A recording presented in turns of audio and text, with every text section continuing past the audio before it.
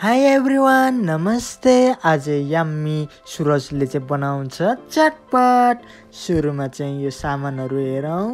यो छ हामीसँग चाउचाउ वाइ वाइ चाउचाउ है फेरि अरू चाहिँ हुँदैन नि। वाइ वाइ मात्र। हाम्रो मनमा वाइ भाइ अनि बदाम।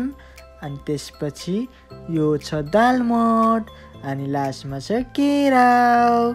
सुरुमा चाहिँ प्याज काटेर यसरी राख्ने अनि टमाटर पनि हाल्ने अनि खुर्सानी पनि हाल्ने खुर्सानी हाल्नै पर्छ चाउचाउ यसरी राख्ने अनि चाउचाउमाथि भुजा राख्ने।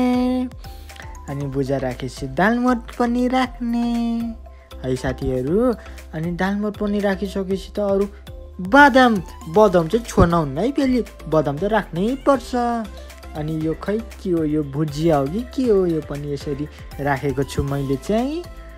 अनि अरू चाहिँ इ यो सुप पनि हाल्नु पर्छ नि। चाउचाउ मात्र हालेर हुन्न।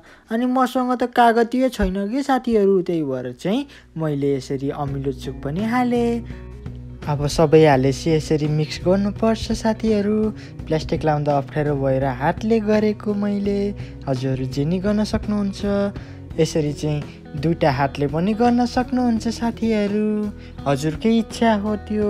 मैले भनेर हुनेवाला? होइन ल ल ले ले ले छिटो ले यहाँ चाखम चाखम। आहा। मिठो छ साथीहरू।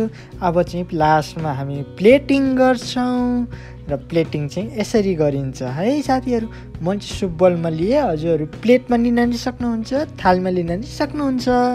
ल म खाएँ है त साथीहरू अब। अब म खाएँ।